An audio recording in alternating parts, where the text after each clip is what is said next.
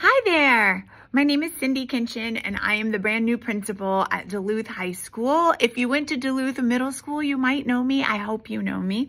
Anyway, I'm sending you this video because I am so excited to see you at school this year.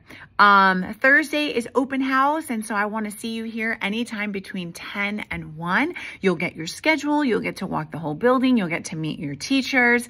Um, and then the first day of school is next Monday, August 5th.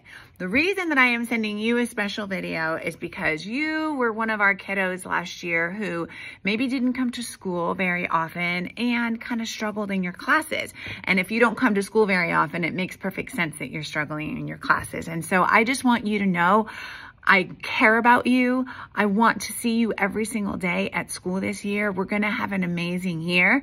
Um, and you are a very special list of kiddos because whatever it is that kept you home last year, I want to help you through it so that we see you every day at the high school having a great time. We love you, we care about you, and we want you to be successful. So I cannot wait to see you on Thursday, August 1st from 10 to 1. Come see us, get your schedule, walk the building, see some friends, and then I will see you on the first day of school on August 5th.